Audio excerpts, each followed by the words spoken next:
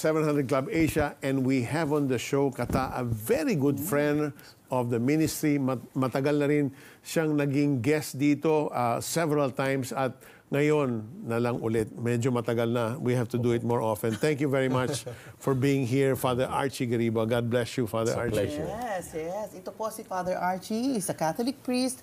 He's well known for his exuberant faith in Christ and healing ministry. And let's welcome him to the show, Father Archie. Praise God. Very, Thank very you. happy and very glad to be here. It's a pleasure. Siguro before anything, Peter, I'd like to mention lang kasi may healing ministry si Father Archie. Oh, And yes. In this Holy Week, you have an event at Araneta Coliseum. Yeah, Would you that's like to invite them first, Father Archie? First things first. Yeah, this is uh, going to be on March 24, 25, and 26 at 2 p.m. Doon po tayo sa Smart Araneta Coliseum and everybody's welcome. Yeah. And uh, regardless of what denominational tag or religion, God is a welcoming God. And uh, like uh, John 3.16 tells us very articulately, for God so loved the world that He gave His only begotten Son that whoever believes, dare to believe in Him, may not perish but may have everlasting life. Everybody's welcome. 2 p.m. po yan at the Smart Araneta Coliseum, March 24, 25, and 26. Maaga-aga po ang ating Holy Week. And so let's enjoy in the presence of the Lord. Yan. Amen. Kita amen. kits. Amen. Father Archie, Lenten celebration na in the Philippines, which is a mix of Christian and pagan practices, has become a, a tourist attraction, lalo na yung flagellation that takes place all over the country.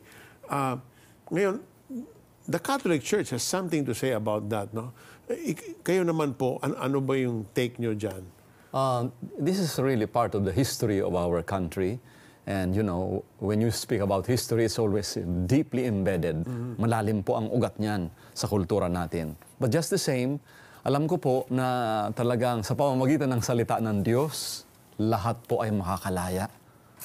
Wow, I think that's Psalms 119, where it says in verse 98, uh, uh, it says that uh, we must learn the Word of God uh, powerfully, and uh, it is uh, through His commandments we will be knowing more and more about the Lord, and that uh, we can even be better than the ancients because they have known, like the Pharisees and scribes who have known the Word of God, but uh, they, have, they did not have the capacity to receive.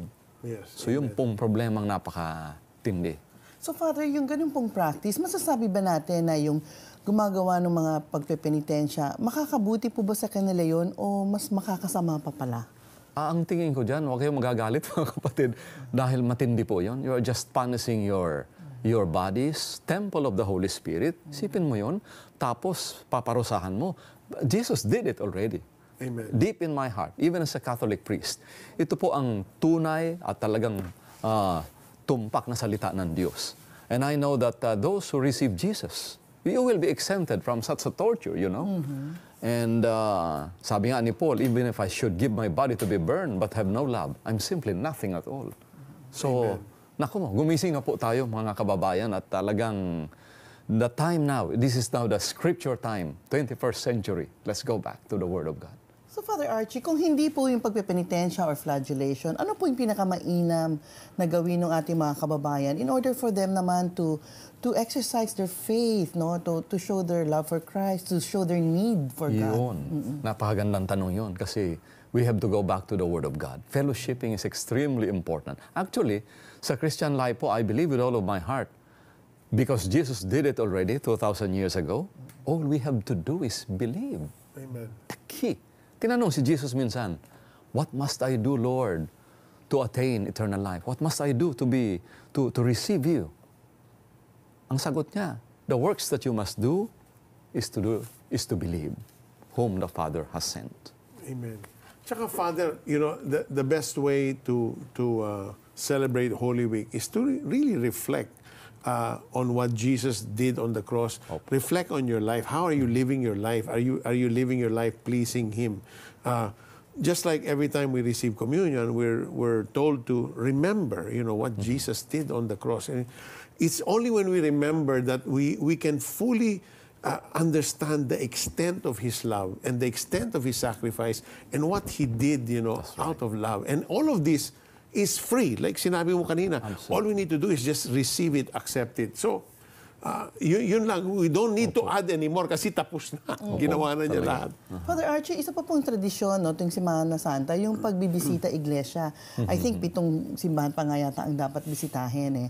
Ah, mainam po bang practice ito? May, may masama ba dito? O ano hong kabutihan po ng paggawa noon? For historical purposes siguro, it's good to reminisce the past, you know. But uh, if you try to go there to gain, you know, salvation and all of that, eh, kaya nga napakaganda mga kapatid. Ephesians chapter 2 verses 8 and 9, it says, For by grace are you saved through faith. Amen. Wow! Not by works. O, kita mo? Lest any man should boast, it is a freely given gift from God. Sarap ng buhay talaga, no? Libre po na ibinigay ni Lord and it's available for those who will dare to believe. Kaya po, napakasarap ng buhay talaga. Lagi ko pong sinisigaw yan. Dahil salamat meron si Jesus na hindi nagkasala ay naging kasalanan upang tayo na makasalanan ay mapawalang sala. Amen. Father Archie, there's uh, a lot of Filipinos have, have lots of different ways, different symbols uh, ab- about their faith. And among this is the crucifix, the statue of uh, Virgin Mary, Santo Niño, meron din Black Nazarene, meron din Filipino-Chinese na merong, andun yung crucifix, andun din yung Buddha. You know, siguro ang belief nila, mabuti na lang, you know, I, I, I, I have both, you know. Sigurista. So, Oo, di ba? Ga- ganun ta- mga ibang Pinoy, Pinoy ganun, medyo sigurista. So, um, what do you say about that?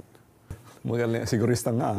At, uh, but I know that once na kilala talaga natin ang ating Panginoon, yung totoo talaga, you will be so focused on Him. Nothing mat- Amen. matters. Nandun na lahat eh. Sabi nga ng uh, scriptures, siya ay mapanibughuin. God is a jealous God. Gusto niya siya lang.